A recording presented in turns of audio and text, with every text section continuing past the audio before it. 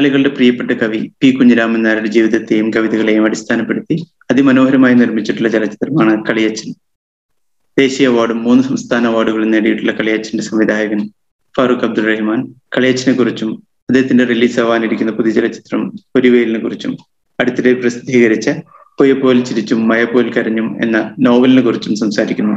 സ്വാഗതം.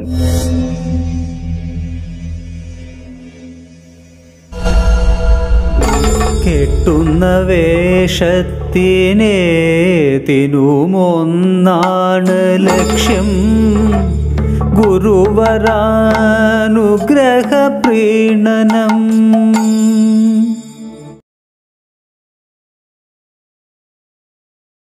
ഫറൂഖ് ഇപ്പൊ ഈ ഒ ടി ടിയുടെ തരംഗമാണ്. ഒ ടി ടി ഒരുപാട് പ്ലാറ്റ്ഫോംസും ഒക്കെ വരുന്നുണ്ട്. പക്ഷെ ഞാൻ ഏറ്റവും ആദ്യം ഒ ടി ടിയിൽ കണ്ട മലയാള സിനിമ കളിയച്ചനായിരുന്നു. വർഷം നാലര വർഷം മുൻപായിരിക്കും തോന്നുന്നു. ഏതിലാ ആമസോൺ അന്ന് ആമസോണിൽ ആ സമയത്ത് ഉണ്ടായിരുന്നു എനിക്ക് തോന്നുന്നു ആ കുട്ടി ഒരു മലയാള സിനിമ ഉണ്ടായിട്ടുള്ളൂ ആ സമയത്ത് തോന്നണം എന്റെ ഓർമ്മ ശരിയാണ്. ആമസോണിലായിരുന്നു ഉണ്ടായിരുന്നു. അതെ അതെ. ഇപ്പോഴും ആമസോൺ ഡോട്ട് കോമിൽ കാണുന്നുണ്ട്. നമ്മുടെ അവിടെ കിട്ടില്ല എന്ന് തോന്നുന്നു. അവിടെ ഇല്ല. മറ്റേ വേറെ വേറൊരു ചാനൽ ഉണ്ടായിരുന്നു ഉണ്ട്. ഇപ്പൊ മൊബൈലുണ്ട്. മൊബൈലുണ്ട്. ഓക്കെ താങ്ക് യു ബട്ട് എന്തായാലും നമ്മൾ തിയേറ്റർ നമ്മുടെ കൺസെപ്റ്റ് ആണ്. തിയേറ്ററിൽ കാണുന്ന പോലെ സിനിമ നമ്മൾ ഒ ടി ടി ആണെങ്കിലും ഫോണിലാണെങ്കിലും ഒന്നും നമ്മളെ അത് തൃപ്തിപ്പെടുത്തില്ല. തൃപ്തിപ്പെടണമെങ്കിൽ. അത് ഒരുപക്ഷെ അടുത്ത തലമുറ തിയേറ്റർ കാണാത്ത തലമുറ വരുമ്പോ അവർക്ക് ഇത് ഓക്കെ ആവും. ശരിയാണ്. കണ്ട തലമുറ ആയതുകൊണ്ട് തിയേറ്റർ അനുഭവിച്ച തലമുറ ആയതുകൊണ്ട് നമുക്ക് എന്ത് തന്നെ ആയാലും തിയേറ്ററിന്റെ ഒരു ആംബിയൻസ് അത് തരുന്നൊരു ലൈവ്നെസ് തിയേറ്റർ റിലീസ് ഉണ്ടായോ കളിയച്ചൻ ഓ ഓ പതിനഞ്ചിലുണ്ടായി. പതിനഞ്ചിലുണ്ടായി നമുക്ക് എന്താ പറയാ ഒരു പതിനഞ്ച് തിയേറ്ററിൽ ഉണ്ടായിരുന്നു. ആ പക്ഷെ ഈ അവാർഡ് കിട്ടിയ ദോഷം ഉള്ളത് കൊണ്ട് അതേ ദിവസങ്ങളൊന്നും നമുക്ക് പിടിച്ചു നിർത്താൻ പറ്റില്ല. കാരണം തിയേറ്റർ തന്നെ പലരും അയ്യോ അത് അവാർഡ് സിനിമയല്ലേ? എന്നൊക്കെ പറഞ്ഞിട്ട് പലരും തിയേറ്റർ തരായിരുന്നു. അപ്പൊ ഞാൻ അവരോട് ഞാൻ അവാർഡ് അങ്ങ് തിരിച്ചു തന്നേക്കാം. എന്നാലും തിയേറ്ററിൽ ഈ സാധനം വരണം. രണ്ടു മൂന്ന് പ്രശ്നങ്ങളുണ്ടായിരുന്നു. ഒന്ന് പതിമൂന്നിൽ കഴിഞ്ഞ cinema N F D C release ചെയ്യാൻ താല്പര്യം എടുത്തില്ല നമ്മൾ അതിന് ഒരുപാട് സമരമുറകൾ തന്നെ ശരിക്കും പറഞ്ഞാൽ സമരം തന്നെയാണ്. നമ്മളൊരു ഇമെയിൽ ക്യാമ്പയിൻ നടത്തി. Email campaign email campaign. അതായത് പലരോടും പറഞ്ഞിട്ട് എൻ എഫ് ഡി സിയോട് പറഞ്ഞിട്ട് ഒന്നും നടക്കാതെ ഈവൻ നമ്മൾ മിനിസ്ട്രി പോലും അതായത് കോൺഗ്രസിന്റെ മിനിസ്ട്രി ഉണ്ടാകുമ്പോൾ അവരെടുത്ത് അത് കഴിഞ്ഞ് ബി ജെ പി മിനിസ്ട്രി വന്നപ്പോൾ അവരോട് ഒക്കെ പറഞ്ഞിട്ടും ഇത് നടന്നില്ല. അവസാനം നമ്മൾ ജനാധിപത്യ മുറ എന്നുള്ള നിലയ്ക്ക് ഇമെയിൽ ക്യാമ്പയിൻ ഒരുപക്ഷെ അത് ആ സമയത്ത് അതൊക്കെ ആദ്യമായിട്ടാണ്. അങ്ങനെ ഒരു more than seventy thousand letters N F D സിയുടെ ബോക്സിലേക്കും നമ്മുടെ ഐ എം ബി മിനിസ്ട്രിയുടെ ഓഫീസിലേക്കും ബൂത്ത് ഇതിലേക്ക് പോയി. അങ്ങനെയാണത് തിയേറ്ററിലേക്ക് അവർ പിന്നെ കമ്പൽഡായി അതുകൊണ്ട് അവർ തിയേറ്ററിൽ കാണിച്ചു. കുറെ ആളുകൾ കണ്ടു. എന്റെ നാട്ടിലും നായരുടെ നാട്ടിൽ മാത്രം റിലീസ് ഉണ്ടായില്ല. നരനന്റെ നാട്ടിൽ നമുക്ക് അസൂയ തോന്നും. എപ്പോഴും പരിപാടികളാണ്. രഞ്ജി പറഞ്ഞ പോലെ കാലത്തെ എണീറ്റ നാടകമാണെന്ന് പറഞ്ഞ. രഞ്ജി പറഞ്ഞ കാരണം ഇപ്പോഴേ നമ്മളെ ഈ ഒരു തിയേറ്റർ ഗ്രൂപ്പ് എന്നിട്ടൊന്നും ഉണ്ടാക്കിയിട്ടുണ്ട്. അപ്പൊ അത് ഞാൻ പറഞ്ഞ ഒരു പിന്നെ നമ്മളെ പുലികേശി എന്നുള്ളൊരു നാടകം കളിക്കുന്നുണ്ട്. അപ്പൊ അതിന്റെ നമ്മളെ കൂട്ടത്തിൽ അഭിനയിച്ച ഒരാളുടെ പിന്നെ ബാവുൾ അതിന്റെ അമ്പതാമത്തെ സ്റ്റേജാണ് ഞായറാഴ്ച. അപ്പൊ അതിന്റെ ഒരു ഇതൊക്കെ ചെയ്യാൻ വേണ്ടിയിട്ടാണ് നമ്മൾക്ക് ഒരു മീറ്റിംഗ് ഉണ്ടായിരുന്നു ഇവിടെ ഷോപ്പിൽ ഷോപ്പിൽ പോസ്റ്റ് കണ്ടു ഞാൻ ടീച്ചറിട്ട പോസ്റ്റ് കണ്ടു. ഞാൻ പറഞ്ഞു ഈ മീറ്റിംഗ് ഉണ്ട് പറഞ്ഞു. അങ്ങനെയാണ്. ടീച്ചറിട്ട പോസ്റ്റ് കണ്ടു ഈ ഏ? ആ പ്രോഗ്രാമിന്റെ ടീച്ചറിട്ട പോസ്റ്റ് കണ്ടിരുന്നു ഞാൻ. നരിപ്പറ്റ സാർ വരുന്നുണ്ട്. പന്ത്രണ്ടാം തീയതി. ദൈവമേ ആ. എന്താവുന്ന കണ്ടിട്ട് അറിയണം. എന്തൊരു ഉത്സാഹ എനിക്ക് കൊതിയാവുണ്ട് കേട്ടോ ഞാൻ ചിലപ്പോ അങ്ങോട്ടേക്ക് ഷിഫ്റ്റ് ചെയ്യും. പോരും. അപ്പോ കുറച്ചപ്പോ സിനിമയിലേക്ക് കിടക്കാം. എങ്ങനെയാണ് കവി പി എ കുറിച്ച് ആക്കാം സിനിമ എന്നുള്ളത്? എങ്ങനെയായിരുന്നു ആ ഒരു തീരുമാനത്തിലേക്ക് എത്തിയത്? ഞാൻ ആദ്യം ചെയ്ത ഒരു സീരിയൽ എന്ന് പറയുന്നത് അല്ലെങ്കിൽ അതിനേക്കാൾ മുമ്പേ ഞാൻ വർക്ക് ചെയ്ത ഒരു ടെലിഫിലിം അത് നങ്ങേമക്കുട്ടിയാണ്. ഒളപ്പമണ്ണയുടെ നങ്ങേമക്കുട്ടി. അതിൽ ഞാൻ അസിസ്റ്റന്റ് ആയിട്ട് അന്ന് പ്രീ ഡിഗ്രി മറ്റേ പഠിക്കുന്ന സമയം അത് കഴിഞ്ഞ് പിന്നെ കുറെ വർക്കുകൾ പി മനോസാറുടെ കൂടെയൊക്കെ വർക്ക് ചെയ്ത് അത് തന്നെ കഴിഞ്ഞ് ഞാൻ സ്വന്തമായിട്ട് ചെയ്യുന്ന സീരിയൽ എന്ന് പറയുന്നത് തുഞ്ചത്ത് ആചാര്യനാണ്. അതും ഒരു കവി. കവിയൽ കവി മാത്രമല്ലല്ലോ. ഭാഷാപിതാവ് എന്നാണല്ലോ പറയാ നമ്മൾ. അത് കഴിഞ്ഞ് പിന്നെ നമുക്ക് എന്താ അടുത്ത് ചെയ്യണം എന്ന് പറയുമ്പോൾ ഇങ്ങനെ നമ്മുടെ ഒരു പ്രൊഫസർ ഉണ്ട് ഒരു ടി വി ശശി. അദ്ദേഹമാണ് പറഞ്ഞത് നമുക്ക് ഈ കുഞ്ഞിരാമൻ നായർ ഒരു മഹാസംഭവമാണ് ഒരു കളിയച്ഛനൊക്കെ എടുത്ത് ചെയ്യാവുന്നതാണ് എന്ന് പറഞ്ഞു. അപ്പൊ ഞാൻ ലൈബ്രറിയിൽ നിന്ന് കോളേജ് ലൈബ്രറിയിൽ നിന്ന് കളിയച്ഛനെടുത്ത് വായിച്ചു. കളിയച്ഛനെടുത്ത് വായിച്ചു കഴിഞ്ഞപ്പോ ഒരു ഒരു ആ ഒരു വായന കഴിഞ്ഞപ്പോ എന്തോ ഒരു ഒരു സ്പാർക്ക് നമ്മളിങ്ങനെ ഡിസ്റ്റർബ് ചെയ്യുന്നതായിട്ട് തോന്നി. അപ്പൊ ഞാൻ ഇത് അന്ന് ഞാൻ പഠിച്ചുകൊണ്ടിരിക്കാം അപ്പൊ മാഷോട് ചോദിച്ചു ഇത് വായിച്ചാ പോരാ. കുഞ്ഞിരാമൻ നേരം മൊത്തം നീ വായിക്കണം. എന്നാലേ നീ കുറച്ചുകൂടി ഡിസ്റ്റർബ് ആവുള്ളൂ അങ്ങനെ അങ്ങനെ ഞാൻ വായന തുടങ്ങി. കുഞ്ഞിരാമൻ നായരെ പഠിക്കാൻ തുടങ്ങി. അത് കഴിഞ്ഞ് പിന്നെ അതിന്റെ ഇടയിൽ പല വർക്കുകളും നമ്മൾ ചെയ്തു പോയി. പക്ഷെ സ്ക്രിപ്റ്റ് എഴുതിയത് ഈ തൊണ്ണൂറ്റി ഏഴ് ആ സമയത്താണ് ഫസ്റ്റ് ഡ്രാഫ്റ്റ് എന്ന് പറയുന്ന ഒരു സാധനം അപ്പോഴേക്കും എന്താ ചോദിച്ചാൽ ഈ കളിയച്ഛനെ കളിയച്ഛൻ എന്നുള്ള കവിത കളിയച്ഛനെ കുറിച്ച് മറ്റുള്ളവർ പറഞ്ഞ കുറെ കാര്യങ്ങളുണ്ട്. ഇതെല്ലാം നമ്മൾ വായിക്കുമ്പോൾ ഈ ആത്മകഥാംശം എവിടെ? എന്നുള്ളതിന്റെ ഒരു ഒരു അന്വേഷണവും. അപ്പൊ ആത്മകഥാപരമായിട്ടുള്ള അദ്ദേഹത്തിന്റെ കവിയുടെ കൽപ്പാട് കരണത്തിൽ നിന്ന് ഞാൻ അങ്ങനെയുള്ള കാര്യങ്ങളൊക്കെ വായിച്ചു. അപ്പൊ ഇവിടെ ഒരു വലിയ എന്താ പറയാ സത്യസന്ധത ജീവിതം മറ്റുള്ളവർക്ക് പകർത്തി കൊടുക്കുന്നതിൽ അല്ലെങ്കിൽ എഴുതി കാണിക്കുന്നതിൽ അല്ലെങ്കിൽ പറയുന്നതിലൊക്കെ അദ്ദേഹം പുലർത്തിയ ഒരു സത്യസന്ധതയാണ് എന്നെ കൂടുതൽ ആകർഷിച്ചത്. പിന്നെ നമ്മൾ കുറച്ചുകൂടി ഗ്രോണപ്പൊക്കെ ആയപ്പോ ആ കവിതയിലെ ഒരു ഒരു ചെറിയൊരു ശ്ലോകം. അതായത് പൂർണാധികാരം ഉണ്ടാവണം അന്നെന്ന് തോന്നിയ വേഷങ്ങൾ കെട്ടി നടക്കുവാൻ ഇതൊരു ഭയങ്കര മുദ്രാവാക്യമായിട്ടാണ് എനിക്ക് ഫീൽ ചെയ്തത്. കാരണം നമുക്ക് നമുക്ക് തോന്നുന്ന പോലെ ഒരു വേഷം കെട്ടി ജീവിക്കാൻ പറ്റാത്ത ഒരു അവസ്ഥയാണ് നമ്മളിൽ എല്ലാവർക്കും മിക്കവാറും. തൊണ്ണൂറ്റി ഒമ്പത് മുക്കാൽ പെർസെന്റേജ് ആളുകൾക്കും അങ്ങനെയുള്ള നമ്മളെ ഇഷ്ടത്തിനനുസരിച്ച് ഒരു വേഷത്തിൽ അല്ലെങ്കിൽ ഒരു കംഫർട്ടബിലിറ്റിയിൽ ജീവിക്കാൻ കഴിയുന്നില്ല. ആ അത് ഉണ്ടാവണം എന്ന് പറയുന്ന ഒരു മുദ്രാവാക്യമാണ്. അപ്പൊ ആ ആ ഫ്ലാഗാണ് ഞാൻ പിന്നെ ഉയർത്തിയത്. അത് ഉയർത്തിപ്പിടിച്ചുകൊണ്ടാണ് പിന്നെ കുഞ്ഞിരാമൻ നായരിലേക്ക് എത്തുന്നത്. കുഞ്ഞിരാമൻ നായരുടെ സ്ക്രിപ്റ്റ് കുറച്ചുകൂടി പൂർണമാക്കുന്നത്. പിന്നെ അത് വെച്ച് സിനിമ ചെയ്തേ അടങ്ങുള്ളൂ എന്നുള്ളൊരു വാശി. അതാണെങ്കിൽ ഒരു പ്രൊഡ്യൂസർക്കും വേണ്ടേനു. കാരണം ഈ കവിത വെച്ചുകൊണ്ടുള്ള ഒരു സിനിമയൊന്നും ആർക്ക് ധൈര്യമില്ല. അങ്ങനെ പല ഹഡിൽസ് ചാടി ചാടി അവസാനം എൻ എഫ് ഡി സിയിലെത്തി. അത് സിനിമയായി. അതാണ് അതിന്റെ ഒരു അതിന്റെ ഒരു ചരിത്രം. ഫറൂഖ് സാർ പറയുന്നത് കേൾക്കാൻ നല്ല സുഖമുണ്ട്. അത് അത് അത് കേൾക്കുക എന്നുള്ള തന്നെ ഒരു ഒരു എന്താണ് പറയുക ഒരു അനുഭവം തന്നെയാണ്. കൊള്ളാം.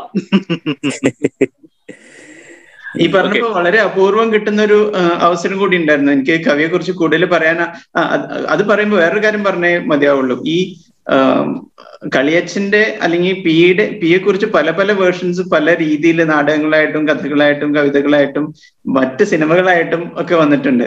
അപ്പോ അപ്പൊ അപ്പൊ ഒക്കെ ഉണ്ടായിരുന്ന ഫീലിംഗ് എന്തായിരിക്കും? അപ്പൊ ഇങ്ങനെ ഒരു വർക്ക് ചെയ്തോണ്ടിരിക്കുന്നു നയന്റി സെവൻ തുടങ്ങി?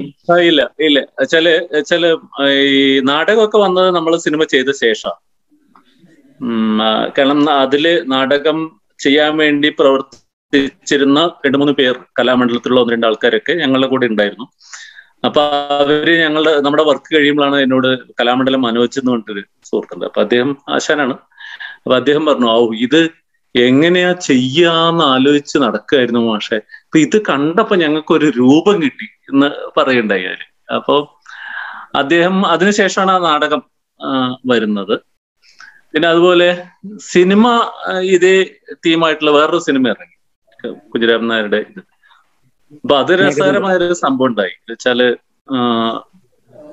ഞാൻ ദുരിത അല്ല എൻ എം ടി സിക്ക് കൊടുത്ത് രണ്ട് വർഷം കഴിഞ്ഞിട്ടാണ് ബാലേന്ദ്രൻ അദ്ദേഹം ഇത് അനൗൺസ് ചെയ്തു. ഈ സിനിമ അനൗൺസ് ചെയ്തു.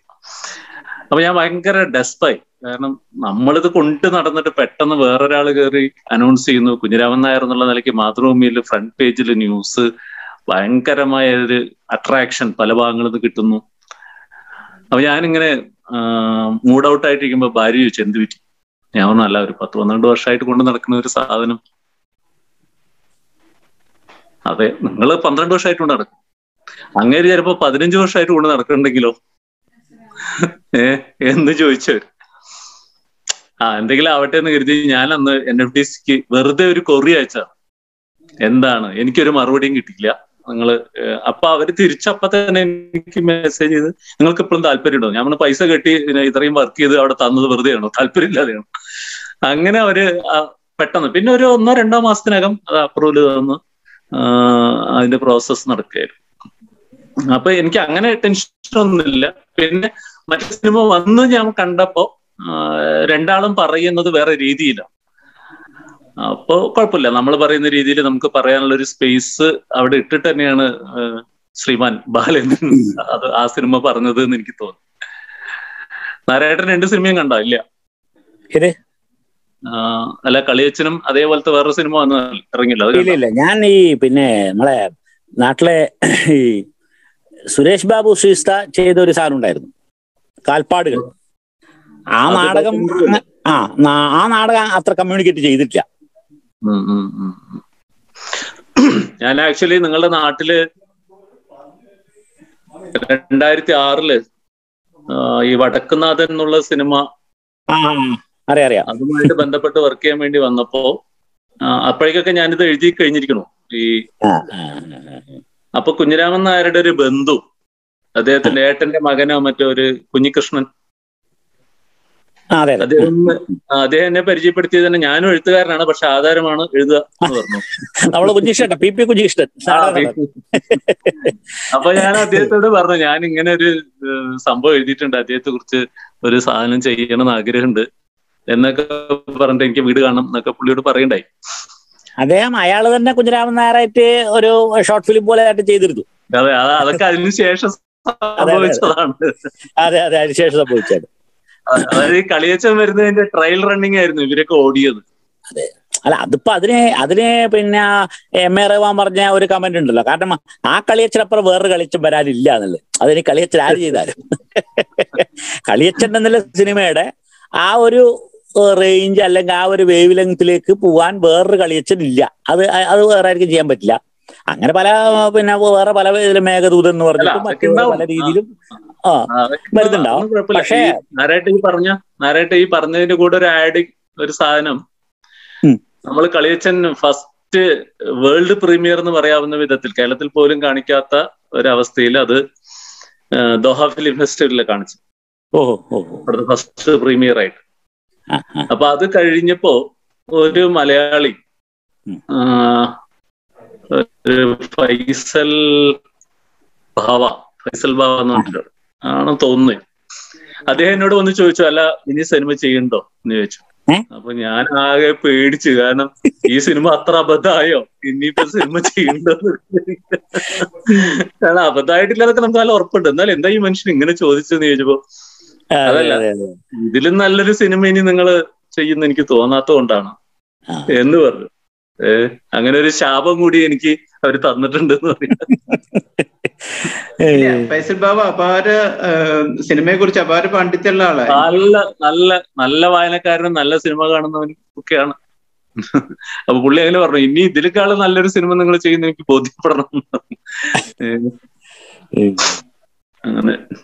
ഫറൂഖ് ജിയുടെ പി എൻ മേനോൻ ആയിട്ടുള്ള ഒരു ഇന്ററാക്ഷനെ കുറിച്ചൊന്ന് കേട്ടോളൂ. കാരണം ഇപ്പോ അദ്ദേഹത്തിനെ ആരാധിക്കുന്നതായിരിക്കും എല്ലാ ആളുകളും ഉണ്ടാവുക. കലാകാരൻ എന്നുള്ള നിലയ്ക്കും അന്ന് റെവല്യൂഷണറി സിനിമകൾ സിനിമകൾ സിനിമ കൊണ്ടും ജീവിതം കൊണ്ടും അല്ല, അദ്ദേഹത്തിന്റെ- ആൾ. പി കൂടെ ഞാൻ അധികം ഒരു ഒരു വർക്കേ ഞാൻ ചെയ്തിട്ടുള്ളൂ. പക്ഷെ അതൊരു യൂണിവേഴ്സിറ്റി ആയിരുന്നു എന്നുള്ളതാണ് കാരണം ഒരുപാട് കാര്യങ്ങളെ നമുക്കത് പഠിപ്പിച്ചു തരും. പ്രത്യേകിച്ച് അദ്ദേഹത്തിന്റെ സ്ക്രിപ്റ്റ് സെൻസ് എന്ന് പറയുന്നത് ഭയങ്കര.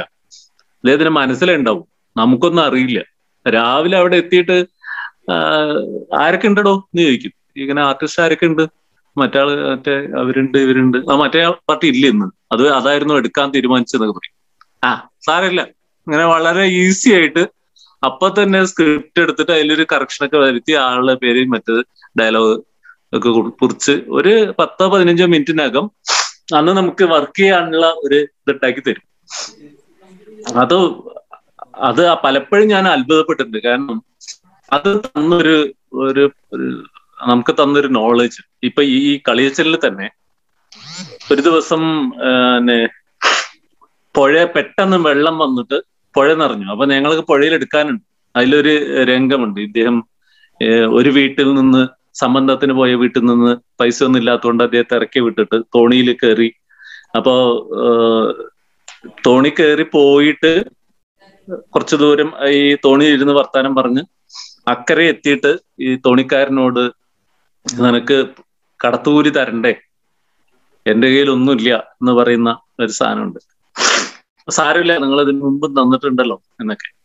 പെട്ടെന്ന് ഈ പുഴയിൽ വെള്ളം കൂടുകയും ഈ രാത്രി ഞങ്ങൾ അവിടെ എത്തുകയും ചെയ്തു. ഈവനിങ്ങാ ഞങ്ങൾ എത്തുന്നത്. അപ്പൊ പുഴ എത്രത്തോളം ആഴമുണ്ടെന്നൊന്നും ഒരു ബോധമില്ല ഞങ്ങൾക്ക് ആർക്കും അറിയില്ല. തോണിയൊക്കെ കൊണ്ട് നിർത്തിയിട്ടുണ്ട്. തോണിയൊക്കെ നമ്മൾ അത് ഇത്തിരി കോസ്റ്റ്ലിയാണ് കൊണ്ടുവന്ന് അതിനുവേണ്ടി അറേഞ്ച് ചെയ്ത്. അപ്പൊ ഈ അസോസിയേറ്റും ഇവരും തമ്മിൽ ഇങ്ങനെ ഭയങ്കരമായ ചർച്ചകൾ നടക്കുന്നു. കുറെ നേരമായി ഞാൻ ഇത് ലൈറ്റായി ആയി ലേറ്റ് ആയി പോകണല്ലോ എന്ത് പറ്റി? അല്ല സാറേ ഇതിപ്പോ നമ്മൾ ഈ തോണി അക്കരെ എത്തിയിട്ട് വേണല്ലോ. അതിന്റെ ഇടയിൽ ഡയലോഗ് ഉണ്ട്. അപ്പൊ വെള്ളപ്പ് എത്ര ഇങ്ങനെ കയറിയതുണ്ട് എവിടെ ആഴമുണ്ട് എന്താണെന്നൊന്നും അറിയില്ല. എന്നൊക്കെ പറഞ്ഞിട്ടാണ് ഇവർ ചർച്ച. അപ്പൊ ഞാൻ ആ സ്ക്രിപ്റ്റിങ് തന്നെ. ഞാൻ ഒന്ന് വായിച്ചു നോക്കട്ടെ. അപ്പൊ വായിച്ചു നോക്കി. വായിച്ചു നോക്കിയിട്ട് ഞാൻ ഒരു ചെറിയൊരു കറക്ഷൻ അതായത് അക്കരെ എത്തിയാൽ നിനക്ക് കടത്തൂരി തരണ്ടേ എന്ന് ചോദിച്ച് ഈ അക്കരെ എത്തിയാൽ എന്നുള്ള ഒരു വാചകം ആഡ് ചെയ്തോട് കൂടിയിട്ട് ഈ കൺഫ്യൂഷൻസ് ഒക്കെ തീർന്നു. അപ്പൊ ഞാൻ അപ്പൊ ആ നിമിഷം ഞാൻ ഈ അദ്ദേഹത്തെ ഓർത്തു. കാരണം ഇങ്ങനെയായിരുന്നു അദ്ദേഹത്തിന്റെ ആ സിറ്റുവേഷൻസിനനുസരിച്ച് അപ്പൊ കറക്ഷൻ നടത്തി. ഇങ്ങനെ പിന്നെ അതുമല്ല വളരെ ഫ്രണ്ട്ലി ആണ്. ഈ ഒരു ആംഗിൾ ഒക്കെ വെച്ച് കഴിഞ്ഞാൽ ഇതെന്തിനാ ഇങ്ങനെ വെച്ചെന്ന് അറിയണോ ഇങ്ങനെ ചോദിക്കുക അങ്ങനെ ഭയങ്കര സീരിയസ് ആയിട്ട് പറയും. അത് കഴിഞ്ഞ് വൈകുന്നേരം ആയാൽ വളരെ ഫ്രണ്ട്ലി ആണ്. അദ്ദേഹത്തിന്റെ റൂമിൽ എത്തിയില്ലെങ്കിൽ നമ്മൾ ചീത്ത പറയും. ഇങ്ങനെയൊക്കെയുള്ള ഒരു അതൊരു നമുക്ക് അറിഞ്ഞൂടല്ലോ ചില സമയത്ത് നമ്മളിലേക്ക് എത്തുന്ന ചില ഇപ്പൊ ഓഷോ ഒക്കെ പറയുന്ന ഒരു സാധനമുണ്ട്. അതായത് ചില ഗുരുക്കന്മാർ നിങ്ങളെ തേടി വരും ചില ഗുരുക്കന്മാർ വരെ നിങ്ങൾ തേടി പോകുന്ന. അത് ഏതിനും നല്ലതിനാണെങ്കിലും കെട്ടതിനാണെങ്കിലും ഒക്കെ നമ്മളിലേക്ക് എത്തിച്ചേരുന്ന ചില ഗുരുക്കന്മാരുണ്ട്. അത് അങ്ങനെ എങ്ങനെയോ സംഭവിച്ചു പോയതാണ്. അല്ലാതെ എന്റെ ഒരു ക്വാളിറ്റിയോ അല്ലെങ്കിൽ അതൊന്നുമല്ല. അത് വന്ന് സംഭവിച്ചു. നമുക്ക് അങ്ങനെ ഒരാളെ കിട്ടി. അല്ലെങ്കിൽ അങ്ങനെ അതും കൂടി ഉണ്ടായി ഈ ലൈഫിൽ എന്ന് മാത്രമേ പറയാൻ പറ്റൂ.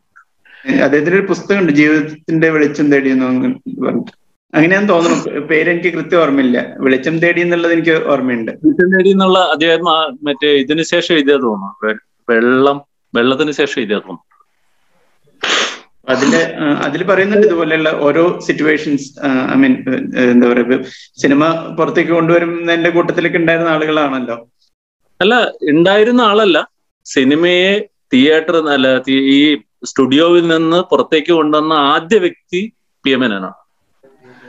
അതിന്റെ കൂടെയാണ് പിന്നെ വല്ല എല്ലാവരും ആദ്യം വന്നത് അദ്ദേഹം തന്നെയാണ്. കാരണം പിന്നെ നമ്മളൊക്കെ വളരെ കൂടിയാണ്. കുറെ പണ്ട് വായിച്ചതാണ്. അതൊന്നും എനിക്ക് അറിഞ്ഞുകൂടാ നമ്മളൊക്കെ ജനിക്കുന്നതിന് മുമ്പ് സംഭവിച്ചു പോയ കുറെ കാര്യങ്ങളാണ്. അത് പക്ഷെ അതിലൊന്നും ഈ മറ്റു പലരും സംസാരിക്കുമ്പോഴൊക്കെ അവരുടെ വീരവാദം നമ്മളോട് പറയും. ഒളിപ്പിച്ചും തെളിപ്പിച്ചും ഒക്കെ ഇങ്ങനെ ഞാൻ അങ്ങനെ ചെയ്തു ഇങ്ങനെ ചെയ്തു എന്നൊക്കെ പറഞ്ഞു. പക്ഷെ സാർ ഒരിക്കലും അത് പറയാറേ ഇല്ല. അത് അതൊരു ഭയങ്കര ഇതായിട്ട് എനിക്ക് പലപ്പോഴും തോന്നില്ല അങ്ങനെ ഒരു- അത് നമുക്ക് പുറത്ത് വെച്ചാൽ നന്നു എന്ന് തോന്നി പുറത്തു കൊണ്ടുപോയി ചെയ്യുന്നു. അല്ലാതെ ഞാനതിന്റെ ആളായി എന്നൊക്കെ ഇവർ പറയുമ്പോഴാണ് നമ്മൾ അറിയണമെന്നാണ് മറ്റേ സ്റ്റുഡിയോനകത്ത് ഞാൻ പറയുന്ന ഒരു അറ്റ്മോസ്ഫിയർ ഇല്ല. അപ്പൊ എവിടെയുള്ളത്? പുറത്ത്. Okay okay. ആരേട്ടാ ഓ. നാരായണന്റെ കളിയച്ചിനെ കുറിച്ചുള്ള ഓർമ്മകളൊന്ന് ഷെയർ ചെയ്യാമോ? ഞാൻ പിന്നെ കളിയച്ചൻ എന്ന് പറയുന്നത് കേട്ടിട്ട് മാത്രമേ ഉള്ളൂ. പിന്നെ ഫറൂഖ് സാറിനെ ഞാൻ പരിചയപ്പെടുത്തത് എനിക്ക് രണ്ടായിരത്തി പതിനെട്ടിലാണ് അപ്പോ ഫറൂഖ് സാറിനൊക്കെ കേട്ടല്ലാതെ എനിക്ക് അറിയില്ല കാഞ്ഞങ്ങാട് കാസർഗോഡ് നിന്ന് എന്റെ ഒരു നമ്മളോട് സുഹൃത്തുണ്ട് P V advocate P V K Jayaraj.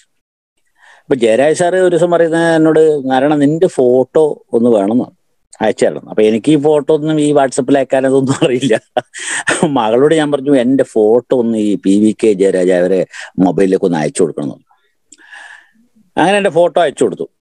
അങ്ങനെ ഫോട്ടോ അയച്ചു കൊടുത്തിട്ടാകുമ്പോഴേ പിന്നെ നമ്മളെ ജയരാജ് സാർ പറഞ്ഞു നീ എത്രയും പെട്ടെന്ന് കാസർഗോഡ് ഗസ്റ്റ് ഹൗസിലേക്ക് ഒന്ന് വരണം. അങ്ങനെ കാസർഗോഡ് ടി ബി ഗസ്റ്റ് ഹൗസിലേക്ക് പോകുന്നു. അന്ന് ഈ കഷണ്ടി ഉള്ള ഒരാളെ ഞാൻ കാണുന്നു. ഇതാണ് ഫറൂഖ് അബ്ദുറഹിമാൻ. എനിക്ക് അറിയില്ല അപ്പൊ അതാണ് ഫറൂഖ് അബ്ദുറഹിമാൻ. അയാളാണ് ഈ കളിയച്ചന്റെ സംവിധായകൻ എന്നൊക്കെ പിന്നീട് അറിയുന്നത്. അപ്പൊ ആദ്യം ഞാനിങ്ങനെ സാധാരണ പിന്നെ ഒരു ആൾക്കാരോടുള്ള ഇങ്ങനെ വർത്താനം പറയുന്ന പോലെ പറഞ്ഞാണ്. പെട്ടെന്ന് കേട്ടപ്പോഴെനിക്കൊരു ഒരു ഒരു ഒരു ഒരു എന്താണ് പറയുക ഒരു പേടി.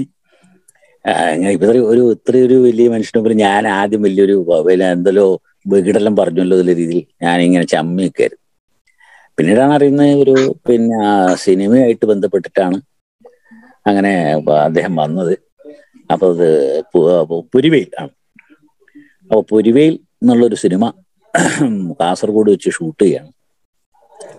അപ്പൊ അതിലൊന്ന് പിന്നെ നാരായണൻ ഒന്ന് എന്തെങ്കിലും ചെയ്യണം എന്ന് വിചാരിച്ചു. അപ്പൊ നമ്മളിങ്ങനെ നാടുമായിട്ടൊക്കെ ബന്ധമില്ലാണ് സിനിമയായിട്ട് ഒരു ബന്ധമില്ല സിനിമയിൽ ഇന്നും ഒരു അഭിനയിച്ചിട്ടില്ല പിന്നെ അവന്റെ ഒരു പേടിയുണ്ട്. എങ്ങനെയാണ് ഈ ക്യാമറ ക്യാമറയുടെ മുമ്പിൽ എങ്ങനെയാണെന്നുള്ളൊരു ഒരു ഭയമുണ്ട്. അപ്പോഴങ്ങനെ ആദ്യമായിട്ട് ഈ കാസർഗോഡ് നിന്ന് പുരിവേൽ എന്ന ഫറൂഖ് സാറിന്റെ സിനിമ അത് മൂവി സൊസൈറ്റി സൊസൈറ്റിയാണ് അത് ചെയ്യുന്നത്. അങ്ങനെയാണ് ഫറൂഖ് സാറും ഞാനുമായിട്ടുള്ള സൗഹൃദം ഉണ്ടാവുന്നത് കാസർഗോഡ്. അതിനുശേഷം ആ സൗഹൃദം വളരെ അടുക്കുകയും അദ്ദേഹത്തിന്റെ അദ്ദേഹത്തോട് എന്തോ ഒരു എനിക്ക് ഭയങ്കരമായിട്ടില്ല അദ്ദേഹത്തിന് എന്താ നമ്മൾ ഈ വേർഡ്സ്വർത്തിന്റെ ലീച്ച് ഗ്യാദറൊക്കെ വായിക്കുമ്പോൾ ഉണ്ടാകുന്ന ഒരു ഇതില്ല ഒരാളുടെ പെർസീവറൻസ് അതിന്റെ പിറകെ അയാൾ അദ്ദേഹം നടത്തുന്ന ആ ഒരു ഒരു ഒരു പ്രയത്നം അതെന്നെ ഭയങ്കരമായിട്ട് പിന്നെ എന്താണ് ഈ സ്വാധീനിച്ചു. എനിക്ക് ഭയങ്കര കാരണം എനിക്ക് സത്യം പറഞ്ഞാൽ എനിക്ക് ഈ പിന്നെ എന്താണ് പറയാ ടെനിസിന്റെ യുളിസസ് വായിക്കുമ്പോൾ ഉണ്ടാകുന്ന ഒരു ഊർജം അതുപോലത്തെ ഒരു സംഭവമാണ്. ഈ മനുഷ്യനെ ഇങ്ങനെ ഈ ഒരു ഒരു ഇങ്ങനെ ഒരു മനുഷ്യൻ ഒരു സിനിമ എടുക്കാൻ വേണ്ടിയിട്ട് ഒന്നുമില്ലാതെ ഇറങ്ങി പുറപ്പെട്ടിരിക്കുകയാണ്. അത് ഇവിടെ എത്തുന്ന ഒരു നിശ്ചയമില്ല പിന്നെയാണ് നമ്മൾ ഒരു സൗഹൃദം എടുക്കുന്നത്. ആ സൗഹൃദം പിന്നെ ഒരു വളരെ നല്ല രീതിയിൽ ആ സൗഹൃദം പോവുകയും. ഇപ്പൊ എനിക്ക് ഫറൂഖ് സാറോട് ഇനി ഇപ്പൊ എനിക്ക് ഭയങ്കര ധൈര്യമാണ്. ഇത് മൂപ്പർ പറഞ്ഞ പോലെ ചെയ്യാതില്ല. അതൊരു പേടിയുണ്ടായിരുന്നു. അതായത് കാസർഗോഡ് നിന്ന് അദ്ദേഹത്തിന് ഉണ്ടായിട്ടില്ല പിന്നെ അത് ആ ആ ആ സിനിമ പൊരുവയിൽ എന്ന് പറയുന്ന ഒരു സിനിമ. അതുമല്ല അത് അതിൽ ഞാൻ അഭിനയിക്കുമ്പോൾ വെച്ചാൽ ആദ്യമായിട്ട് അഭിനയിക്കുന്ന ഇന്ദ്രൻ സാറിന്റെ കൂടെ. ഇന്ദ്രൻസ് സുരഭി ലക്ഷ്മി പിന്നെ അതിന്റെ ക്യാമറാമാൻ എം ജെ രാധാകൃഷ്ണൻ ഇവരൊക്കെയാണ്. അങ്ങനെയുള്ള ആ സൗഹൃദം എടുത്തു അപ്പോഴാണ് കളിയച്ചൻ എന്നുള്ള സിനിമ നമുക്ക് എങ്ങനെയെങ്കിലും ജനങ്ങൾക്ക് കാണിക്കണം എന്നുള്ളൊരു ഒരു ഒരു ആഗ്രഹം വരുന്നത്. അങ്ങനെ കാസർ കാഞ്ഞങ്ങാട് നമ്മൾ തന്നെ ഒരു ഒരുപാട് കാലമായിട്ട് നടന്നൊരു ഫൈൻ ആർട്ട് സൊസൈറ്റി ഉണ്ട്. ആർട്ട് ഫോറം എന്ന് അപ്പൊ ആർട്ട് ഫോറത്തിന്റെ ആഭിമുഖ്യത്തിൽ നമ്മളെ പിന്നെ അപ്പൊ നമ്മൾ കാസർഗോഡ് കാഞ്ഞങ്ങാട് പിന്നെ ഒരു വളരെ പ്രഗത്ഭനായിട്ടുള്ള ഒരു അഡ്വക്കേറ്റ് ഉണ്ട്. Advocate C K Sreedharan. ആ സി കെ ശ്രീധരൻ അഡ്വക്കേറ്റ് അടുത്ത് ഞങ്ങൾ പോയപ്പോഴേ അയാൾ പറഞ്ഞു ആ കളിയച്ചൻ എന്നാൽ ഇവിടുന്ന് ഒരു ഒരു വേദി ഒരുക്കണോ നീ ഒരു തിയേറ്ററിൽ ഒന്ന് കാണിക്കാൻ. അങ്ങനെ കളിയച്ചൻ കാഞ്ഞങ്ങാട് തിയേറ്ററിൽ നമ്മൾ ഒരു ദിവസത്തെ റെന്റ് കൊടുത്ത് കാണിക്കുകയായിരുന്നു.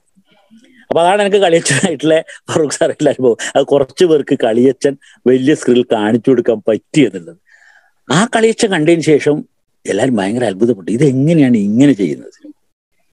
ഒരു ഫിലിമിന്റെ ഒരു മേക്കിംഗ് അതിന്റെ മേക്കിംഗ് എങ്ങനെയത് ഈ ഒരു സംഭവത്തെ ഇങ്ങനെയാണ് ചെയ്യാം? വേറെ പല ആൾക്കാരുടെ പല അഭിപ്രായങ്ങളുണ്ട്. പക്ഷെ അതൊന്നുമല്ല. അത് അവിടെ വന്ന് ആ- കണ്ട എല്ലാവരും ശരിക്കും പറഞ്ഞ അത്ഭുതപ്പെട്ടു പോയി. എങ്ങനെയാണ് ഇങ്ങനെ ചെയ്യാൻ കഴിയുന്നത്? അതാണ് കളിയച്ചനുമായിട്ടുള്ള എനിക്കുള്ള അനുഭവം പിന്നെ ഫറൂഖ് സാറോടുള്ള എനിക്ക് എന്തെങ്കിലും ചെയ്യാൻ പറ്റുമെങ്കിൽ അത് ചെയ്യാൻ പറ്റിയെന്നുള്ളൊരു ഒരു എന്താ പറയാ ഒരു ആത്മസംതൃപ്തി വേണം പറയാം. എനിക്കും ആഗ്രഹം ഉണ്ടായിരുന്നു കുറച്ച് പേര് കാണിക്കാനായിട്ട്. പക്ഷെ അപ്പോഴേക്കും പിന്നെ എനിക്ക് തോന്നുന്നു ആമസോണിൽ നിന്ന് അത് മാറി. ആ, ഞാനത് ചെയ്യുമ്പോഴേക്കും എനിക്കത് അങ്ങനെ ആർക്കും ഷെയർ ചെയ്യാനും പറ്റിയില്ല. പിന്നെ അന്ന് അധികം പേര് ഇങ്ങനെ പ്രൈം ഒന്ന് സബ്സ്ക്രൈബ് ചെയ്യുന്ന കാലം ആയിരുന്നിട്ടുണ്ടായിരുന്നില്ല. ഇപ്പോ ടെലഗ്രാമിൽ ഇഷ്ടംപോലെ ആളുകൾ കാണുന്നുണ്ട്. നല്ല ഫ്രണ്ടും പ്രിന്റും. നല്ല പ്രിന്റും. എന്ത് ചെയ്യാനാ? കണ്ടോട്ടെ? ഞാൻ പിന്നെ ആളുകൾ കാണുന്ന പരമാവധി കണ്ടോട്ടെ എന്ന് ചോദിച്ചു അതുണ്ട്. കാണണം എന്നുള്ള ഒരു കാര്യമുണ്ട്. ഞാൻ ഈ സിനിമയിലേക്ക് വരുമ്പോൾ ഒരുപാട് കാര്യങ്ങളുണ്ട് ചോദിക്കാനായിട്ട്. പക്ഷെ അതിൽ ഈ തീർത്ഥ എങ്ങനെയാണ് സെലക്ട് ആയത്? ആക്ച്വലി ആ ക്യാരക്ടർ ദേവു എന്നുള്ള ഒരു ക്യാരക്ടർ കുഞ്ഞിരാമൻ നായരുടെ സ്ത്രീ ബന്ധങ്ങൾ കുറേ ഉണ്ട് ഒരു ഒത്തിരി ബന്ധങ്ങളാണ്. അതാണ് കാൽപ്പാടുകൾ എന്ന് പറയുന്ന ആ അത്തരം ഒരു അവിടെ ഇവിടെയൊക്കെ നമ്മൾ ഓരോ സ്ഥലത്തും ഓരോ പെണ്ണുങ്ങളെ കാണിച്ചുകൊണ്ട് പോയാൽ അതിനൊരു ഒരാർട്ട് എന്ന് പറയാൻ നമുക്ക് പറ്റില്ല. അപ്പൊ അതിനെന്ത് ചെയ്യണം എന്നായിരുന്നു ഞാൻ സ്ക്രിപ്റ്റ് ചെയ്യുമ്പോൾ ആലോചിച്ചു അപ്പൊ അതിൽ ഒരു നൂറ് സ്ത്രീകൾ ഉണ്ടെങ്കിൽ ആ നൂറ് സ്ത്രീകളുടെയും പൊട്ടൻഷ്യൽ ഉള്ള ഒരു കഥാപാത്രമായിരിക്കണം എന്റെ ക്യാരക്ടർ എന്റെ ആർട്ടിസ്റ്റ് അല്ലെങ്കിൽ ആ കഥാപാത്രം എന്നുള്ള.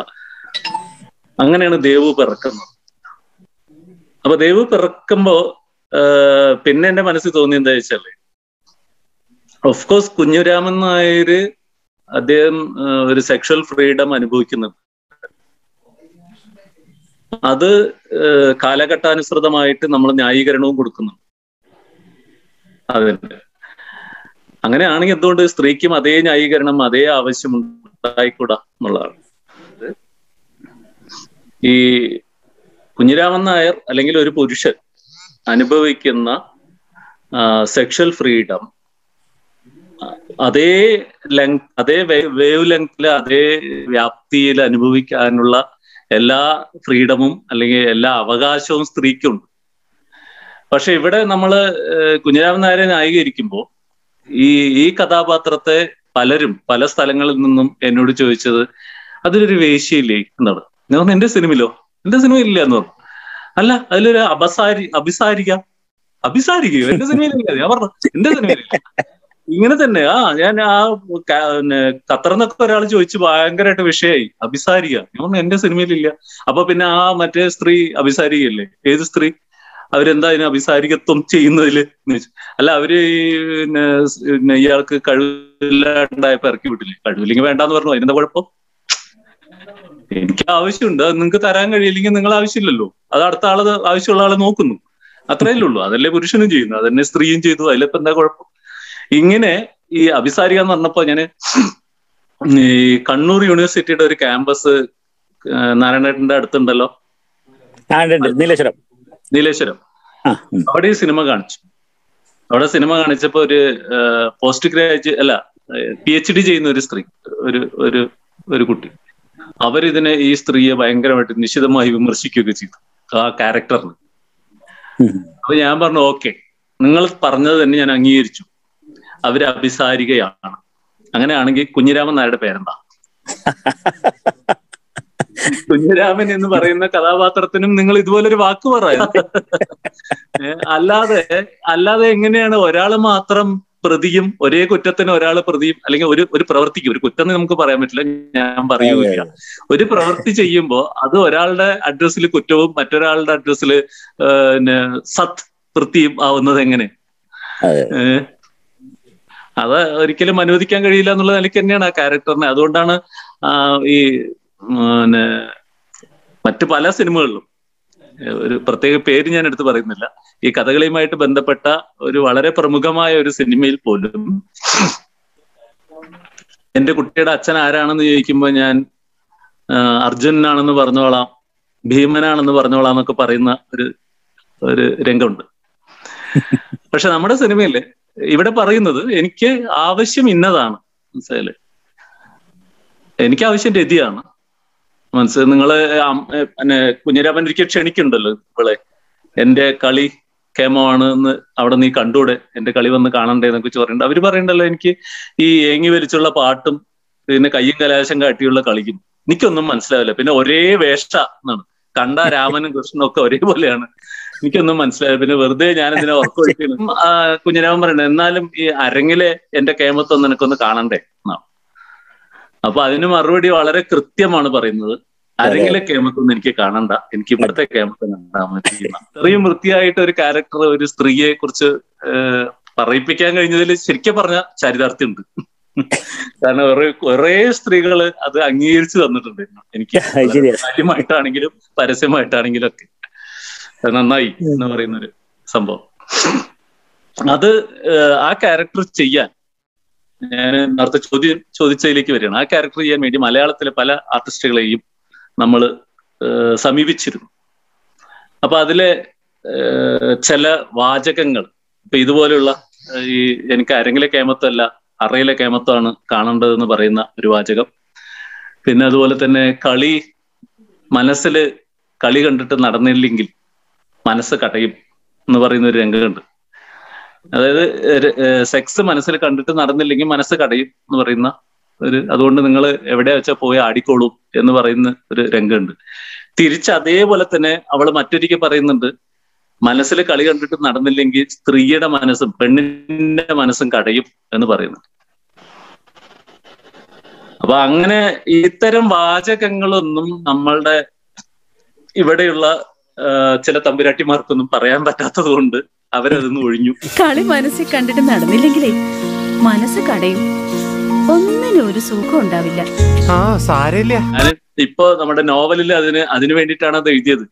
ഒരു മധ്യകാലഘട്ടത്തിന് ശേഷം ഇത്രയധികം പാഴിയാരം കേട്ടിട്ടുള്ള ഒരു പ്രവൃത്തി ഈ ലൈംഗികത എന്ന് പറയുന്ന ഒരു സാധനം സ്വകാര്യ രീതിയിൽ ആഘോഷിക്കുകയും നാലാളുടെ മുന്നിൽ. നാലാളുടെ മുന്നിൽ അതിന് പഴി പറയുകയും ചെയ്യുന്ന ഒരു അവസ്ഥയുണ്ട്.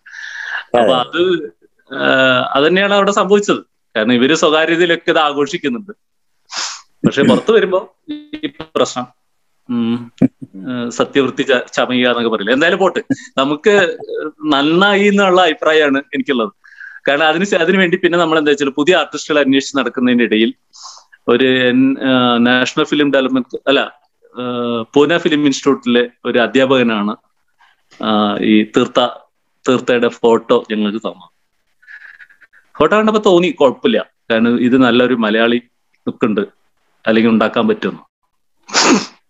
അപ്പൊ പലരും എന്നോട് ചോദിച്ചു നമ്മുടെ പ്രൊഡക്ഷൻ എക്സിക്യൂട്ടീവ് ഒക്കെ ചോദിച്ചു അല്ല ഇത് മതിയോ? ഈ കുട്ടി വളരെ മെലിഞ്ഞിട്ടാണല്ലോ? ഈ കുട്ടി അങ്ങനെ ഒരു ലുക്ക് കിട്ടുമോ എന്നൊക്കെ ചോദിച്ചു. ഞാൻ പറഞ്ഞ ഈ ലുക്കൊക്കെ എനിക്ക് കിട്ടിയിട്ടുണ്ട്. അതുകൊണ്ട് അത് മതി. എന്ന് പറഞ്ഞ് അങ്ങനെ തീരുമാനം എടുത്ത്. പക്ഷെ അത് ഗംഭീരമായിട്ട് അവർ പെർഫോം ചെയ്തു. അയ്യോ ഗംഭീരം ഗംഭീരം. ഇപ്പോഴും ഒരു മറാഠിയാണ് എന്ന് ഞാൻ അങ്ങോട്ട് പറയുമ്പോ അതിശയം കൂറുന്ന ആളുകളാണ് പലരും. അങ്ങനെ പറയാൻ തന്നെ തിയേറ്റർ ബാക്ക്ഗ്രൗണ്ട് ഒക്കെ ഉള്ള ആളാണ്. നല്ല തിയേറ്റർ ബാക്ക്ഗ്രൗണ്ട് ഉണ്ട്. അവർ ആന്ധ്രാപ്രദേശിൽ നന്ദി അവാർഡ് വാങ്ങിച്ചത് സിനിമയിൽ ഫിലിം ഇൻസ്റ്റിറ്റ്യൂട്ടിൽ ആക്ടിംഗ് കോഴ്സ് കഴിഞ്ഞിട്ടുള്ള. അതുകൊണ്ട് നമ്മൾ ഒന്നേന്ന് പറഞ്ഞാൽ അവർ പത്ത് വരെ എണ്ണും. ഒരു പ്രശ്നമില്ല ബാക്കി ഒമ്പതും അവരെണ്ണി തരിങ്ങിട് അറിയാം ഒന്നെന്ന് പറഞ്ഞാൽ മതി. ബാക്കി ഒമ്പതെണ്ണം അവരിങ്ങോട്ട് തരുന്നു? നല്ല ആർട്ടിസ്റ്റ് വാസ്തവത്തിൽ അവരുടെ അവരുടെ കൂടെയൊക്കെ ഇനിയും വർക്ക് ചെയ്യണം തോന്നാറുണ്ട്. അ- അത്തരം ഒരു വേറെ ഒന്നുമില്ല തിയേറ്റർ അല്ല നമ്മൾ ഈ സെറ്റിലെത്തിയാലും ക്യാരക്ടർ ക്യാരക്ടർ ക്യാരക്ടർ ക്യാരക്ടർ ഉണ്ട് ആ ക്യാരക്ടറിന് എന്താ ചെയ്യുക എന്താ ചെയ്യുക അവർ സ്വയം ഇങ്ങനെ വർക്ക് ചെയ്തുകൊണ്ടിരിക്കുന്ന അതൊക്കെ വളരെ അപൂർവമാണ് നമുക്ക് നമുക്ക് പോലും ആ സിറ്റുവേഷൻ ഒന്ന് വിട്ടുമാറാൻ പറ്റാത്ത വിധത്തിലാണ് അവർ കോപ്പറേറ്റ് ചെയ്യുന്നത്. പിന്നെ മനോജും. മനോജും പിന്നെ ഈ അഭിനയത്തിന്റെ കാര്യത്തിൽ ഏത് സമയത്ത് ഈ ക്യാരക്ടറിനെ കുറിച്ച് നല്ലോണം ബോധവാനായിരുന്നു. ഓരോ സാധനം ചെയ്യുമ്പോഴും റൊജി കൂടിയോ കുറഞ്ഞോ എന്തെങ്കിലും ചെയ്യണോ അഡീഷണൽ ആയിട്ട് എന്തെങ്കിലും കാണിക്കണോ അങ്ങനെ അങ്ങനെ ചോദിച്ചുകൊണ്ടിരിക്കും. അപ്പൊ അതൊക്കെ ഒരു എന്താ പറയാ ചിലരൊഴിയുന്ന സ്ഥലത്ത് ചിലത് നല്ലത് വന്ന് ചേരുന്നു പറയുന്നത്. നമ്മൾ വിചാരിക്കും അതാ നല്ലത്.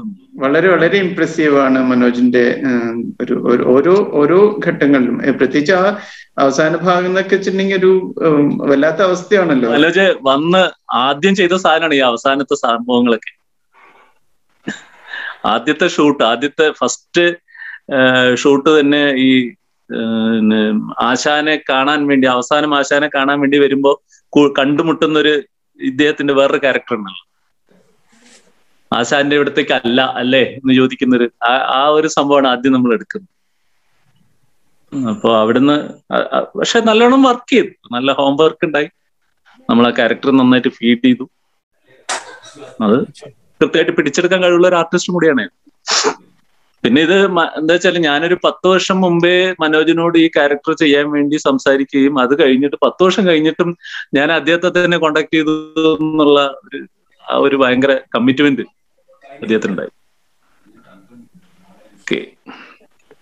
കൂട്ടത്തിൽ എനിക്ക് പുസ്തകത്തിലേക്ക് വര വരണം. പുഴ പോലെ കരഞ്ഞും അല്ലെ? പുഴ പോലെ കരഞ്ഞും മഴ പോലെ. ഇതാ പറയരുത് പുയ പുയ- പുയ പോൽ ചിരിച്ച് മഴ പോൽ കരഞ്ഞ് അത് അത് നോവലായിട്ടാണോ അതിന്റെ? Novel novel novel. അത് സിനിമയ്ക്ക് വേണ്ടി എഴുതി കഴിഞ്ഞപ്പോഴേ അത് ഞാൻ അതിന്റെ ഈ മുഖക്കുറിപ്പിൽ ഞാൻ എഴുതിയിട്ടുണ്ട്. ഈ ആ കാലഘട്ടം ആ കാലഘട്ടം അതൊക്കെ നമ്മളുടെ ഒരു ഈ ബോധതലത്തിൽ ഇങ്ങനെ കിടക്കുമല്ലോ അതിന്റെ വിഷ്വലും. അപ്പൊ അവിടെ ഉണ്ടായിരുന്ന അതിന്റെ പരിസരങ്ങളിൽ ഉണ്ടായിരുന്ന കുറെ കഥാപാത്രങ്ങളുണ്ട്. ആ ഭൂമിയിൽ നമ്മൾ ഉണ്ടാക്കിയെടുത്ത ഒരു ഇമാജിനറി ഭൂമികയിൽ കുറെ കഥാപാത്രങ്ങൾ അവിടെ അവിടെ നിൽക്കുന്നുണ്ട്. അവർക്കൊന്നും ഈ സിനിമയിൽ സ്ഥാനം കിട്ടിയില്ല. കാരണം നമ്മൾ ഈ തൊണ്ണൂറ് മിനിറ്റ് ആക്കണം എന്നൊക്കെ നൂറ് മിനിറ്റ് ആക്കണം എന്നൊക്കെ കൊണ്ട് ചുരുക്കി ചുരുക്കി വന്നപ്പോ ഇവരൊക്കെ ഈ ഭൂമികയിൽ നിന്ന് നമ്മൾ എന്താ പറയാ അവരെ പുറത്താക്കിയിരുന്നു. അപ്പൊ അവരൊക്കെ ഇങ്ങനെ പുറത്തു നിന്നിട്ട് എന്നെയും കൂടി ചേർത്തില്ലേ എന്നുള്ള ആ ഒരു ഒരു മുഖഭാവം നമുക്ക് കൃത്യമായിട്ട് കാണാം. അപ്പൊ അതെനിക്ക് വളരെ ഇൻട്രസ്റ്റിംഗ് ആയിട്ട് തോന്നി. ഞാൻ വളരെ ഒന്നും പ്രതീക്ഷിക്കാതെ വെറുതെ ഒരു ദിവസം ഇങ്ങനെ എഴുതിയതാ. എഴുതി ആദ്യത്തെ കുറച്ച് വാചകങ്ങൾ എഴുതി. അന്ന് വൈഫ് ഉണ്ടായിരുന്നു കൂടെ. അപ്പൊ അവരോട് കാണിച്ചത് പറഞ്ഞത് നന്നായിട്ടുണ്ടല്ലോ കാണാം വേഗം എന്ന് പറഞ്ഞിട്ട് അങ്ങനെ ഒരു പ്രോത്സാഹനം അവിടെ ആ ഭാഗത്ത് നിന്നുണ്ടായി. അപ്പോഴാണ് എനിക്കും ഇത് വഴങ്ങും എന്ന് തോന്നിയത്. വഴങ്ങിയോ എന്നുള്ള കാര്യം ഇനിയിപ്പോ വായനക്കാർ പറയണം. എന്തായാലും എനിക്ക് തോന്നി വഴങ്ങുന്നു. നോവലെഴുത്തും വഴങ്ങും എന്ന് തോന്നി. അത് അങ്ങനെ എഴുതി തീർക്കായിരുന്നു. കുറെ കഥാപാത്രങ്ങൾ പുതിയ കഥാപാത്രങ്ങൾ വന്നു. പിന്നെ നമുക്ക് കുറച്ചുകൂടി ഇപ്പൊ സെൻസർ ബോർഡിനെ പേടിക്കണ്ട. നമുക്ക് പറയാനുള്ള പ്രൊഡക്ഷൻ കോസ്റ്റിനെ പേടിക്കണ്ട. നോവൽ എഴുതുമ്പോൾ വാചകമാണല്ലോ അത് നമുക്ക് എഴുതി എങ്ങനെ വേണമെങ്കിലും കൊണ്ടുപോകാവുന്ന ഒരു രീതി അവിടെ ഈ നോവലിൽ ആവുമ്പോ നോവലിലാവുമ്പോ എല്ലാ സ്ത്രീ ശരീരങ്ങളും ഒരെ- ഒരെണ്ണത്തിലേക്ക് ആവാക്കേണ്ട ബുദ്ധിമുട്ട് വരുന്നില്ലല്ലോ അല്ലെ? അപ്പോ. നമുക്കിങ്ങനെ മേയാം. എവിടെ വേണമെങ്കിലും മേഞ്ഞ് മേഞ്ഞ് മേഞ്ഞ് മേഞ്ഞ് പോവാം. പിന്നെ വളരെ നമ്മളൊരു ഫിലിം കൂടി ചെയ്ത് കഴിഞ്ഞപ്പോഴേ ഫിലിം ചെയ്തു സ്ക്രിപ്റ്റ് ചെയ്തു. ആ സ്ക്രിപ്റ്റിന് വേണ്ടി കുറെ വായിച്ചു കുറെ അതിൽ വർക്ക് ചെയ്ത് വർക്ക് ചെയ്താകുമ്പോ എനിക്ക് എനിക്ക് വളരെ ഈസി ആയിട്ട് തോന്നി. എനിക്ക് സമയം മാത്രം സമയവും എന്റെ ചില സാഹചര്യങ്ങളും എന്നെ അനുവദിക്കാത്തതുകൊണ്ട് കുറച്ചുകൂടി ഡിലേ വന്നു എന്നേ ഉള്ളൂ. അറിയില്ല. ക്യാമറ കുറിച്ച് സംസാരിക്കാനുണ്ട്. എം. ജെ. രാധാകൃഷ്ണൻ പൊരുവേലിനെ കുറിച്ചും കൂടെ സംസാരിക്കാനുണ്ട്. അതിനു മുമ്പ് നമ്മുടെ നാരായണന്റെ ഫിലിം കണ്ടിരുന്നോ ഫറൂഖ് ജി ഇല്ല ഞാൻ കണ്ടില്ല. ഞാൻ കാണാൻ പറ്റിയില്ല. സോറി നാരായണേട്ടനോടും പറഞ്ഞു ഞാനത്. ഞാനത് കാണണമെങ്കിൽ എന്താ വെച്ചല്ലേ ഈ സോണി പോയി കാണണം. അപ്പൊ കുട്ടികൾ വന്നിട്ട് വേണം അത് കാണാൻ എന്ന് പറഞ്ഞിരിക്കാം ഈ ടെക്നിക്കൽ പ്രശ്നങ്ങൾ ഉണ്ട് നമുക്ക് കാണാനും. അല്ലെങ്കിൽ ഇനി ഒരു ദിവസം നാരായണേട്ടന്റെ അടുത്ത് പോയി നാരായണേട്ടൻ എന്തായാലും എടുത്ത് വെച്ചിട്ടുണ്ടാവുമല്ലോ. അത് കാണണം. ഞാനല്ല മകളാണ് കിട്ടിയെന്ന് അറിയില്ല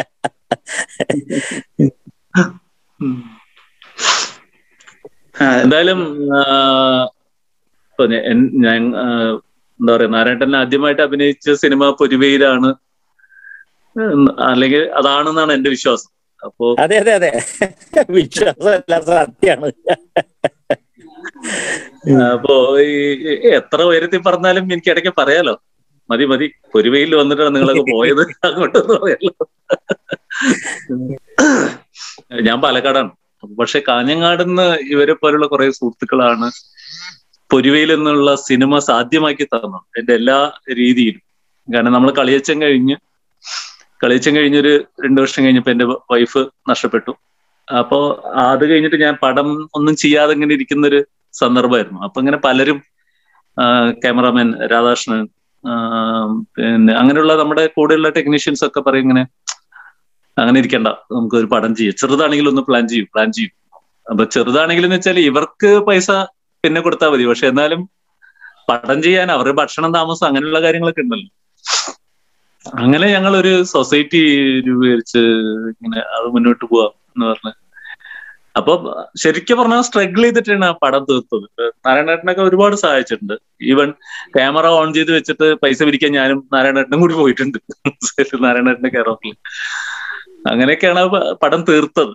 പക്ഷെ എന്നാലും അതൊരു സുഖമുണ്ട്. അത് അതിന്റെ ഒരു അങ്ങനത്തെ ഒരു നമ്മളൊരു താല്പര്യം ഉണ്ടല്ലോ ഈ പടം തീർക്കുക അല്ലെങ്കിൽ പടം ചെയ്യുക എന്നുള്ളൊരു താല്പര്യം അതിന്റെ കൂടെ നിൽക്കാനുള്ളവരുടെ താല്പര്യമാണ് അതിനേക്കാൾ കൂടുതൽ.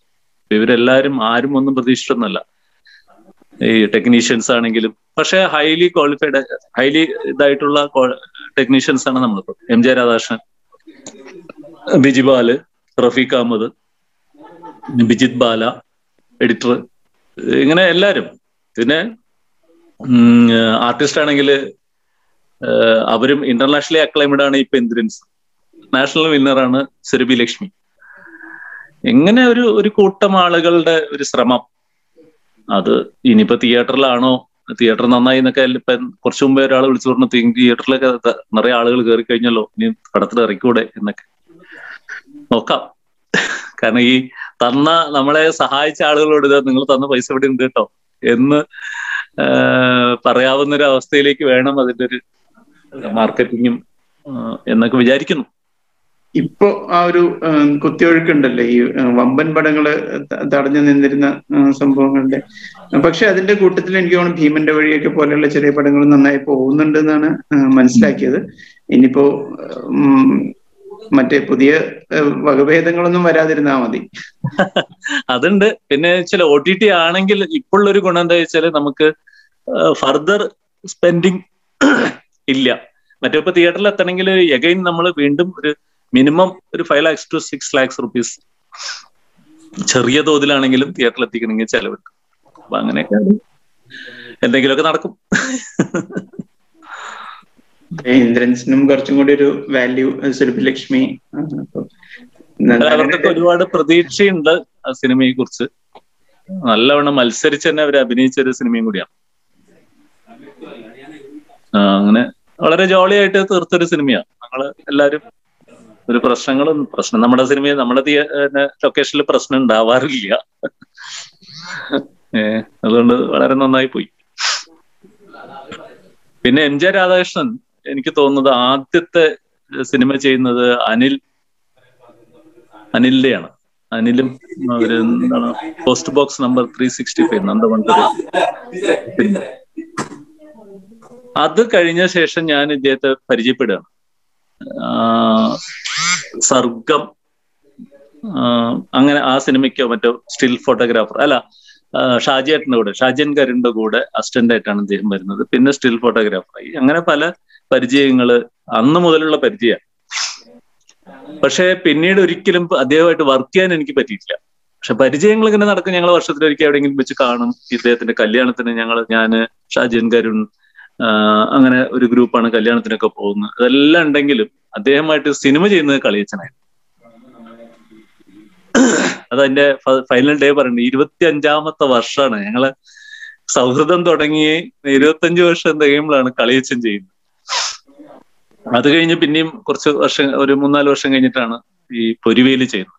പൊരുവേലി ഇതുപോലെ അത്രയും ഞങ്ങൾക്ക് അടുപ്പമുണ്ട്. കാരണം പലപ്പോഴും ഞങ്ങൾ ഒന്നിച്ച് താമസിക്കുക അങ്ങനെയൊക്കെ ഒരുപാട് കാര്യങ്ങൾക്ക് ഞങ്ങൾ ഒന്നിച്ച് താമസിച്ചിട്ടുണ്ട്. പിന്നെ ആദ്യം സ്ത്രീ പർവ് എന്ന് പറഞ്ഞിട്ടൊരു വർക്ക് വേറെ ചെയ്തിട്ടുണ്ട്. അതിനൊക്കെ ആർട്ടിസ്റ്റിനെ ഞാനും ക്യാമറാമാനും കൂടിയിട്ടൊക്കെയാണ് അന്വേഷിച്ചു. പല കോളേജുകളിലൊക്കെ കയറി ഇറങ്ങി അങ്ങനെയൊക്കെ അങ്ങനെ ഒരു ബന്ധം എന്നും നിലനിന്നിരുന്നു. രാധാകൃഷ്ണൻ ഒരുപാട് സ്റ്റേറ്റ് അവാർഡുകളൊക്കെ വാങ്ങുമ്പോഴും നമ്മൾ ദൂരദർശനിൽ ഈ സീരിയൽസ് ചെയ്തുകൊണ്ടിരിക്കുക അപ്പോഴൊക്കെ ഈ ബന്ധം നിലനിന്നിരുന്നു. പിന്നെ ഇരുപത്തഞ്ച് വർഷം കഴിഞ്ഞിട്ട് എനിക്ക് രാധാകൃഷ്ണനെ കിട്ടുമോ കിട്ടില്ല എന്നുള്ള സംശയമായിരുന്നു. കാരണം ആ സമയത്ത് രാധാകൃഷ്ണൻ അവൈലബിൾ അല്ലയോ? ആവോ. പക്ഷെ ലക്ലി അദ്ദേഹം അവൈലബിൾ ആയി. അങ്ങനെ ആ വർക്ക് ഗംഭീരമായി അതിനുശേഷം ഇത് വന്നു. ഇത് വന്നിട്ടും ഇതന്നെ പിന്നെ അദ്ദേഹം തന്നെ അദ്ദേഹത്തിന്റെ കാർ ഓടിച്ച് വന്ന് വർക്ക് ചെയ്യുന്ന ഒരു അവസ്ഥയിലായി.